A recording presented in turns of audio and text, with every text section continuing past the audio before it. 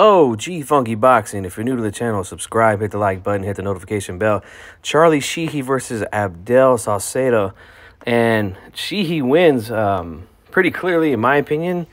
Um, thought it was a, a, pretty good fight, though, in spots. Um, this was Sheehy's first eight rounder. And, uh, you know, he mentioned he was real excited. Couldn't wait to get in there and, and, have an eight rounder. And it goes eight rounds. And I thought he looked pretty good. He thought he boxed well behind the jab used uh, some good lateral movement when he needed to. And then, you know, got right back in there, um, worked behind the jab, a lot of uh, right hands.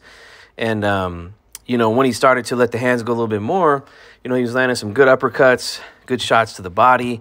Um, but these type of fighters, man, these are some dangerous fighters, man. Uh, you know, these Mexican fighters that um, they use it for their prospects here on the Top Rank because, you know, they're tough, rugged, they you know they know that they're you know there to as an opponent, so they're gonna let it all hang out, man. And Sauceda was was no exception to that, man. He was there, tough, took some shots, and got some shots in himself, you know. And that, that doesn't surprise me because, like I said, these guys, um, you know, they know that uh, they have to do something spectacular um, to beat these uh, blue chip prospects over here on top rank.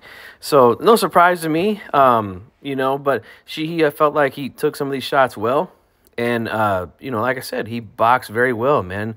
I was impressed with him going eight rounds for the first time. And, uh, you know, I look forward to seeing him fight some more. He's from my area, Northern California. So, you know, you guys know I like to support the guys in the region. So, uh, congratulations, Charlie Sheehy, man. Good win tonight. Let me know what you guys think down in the comment section.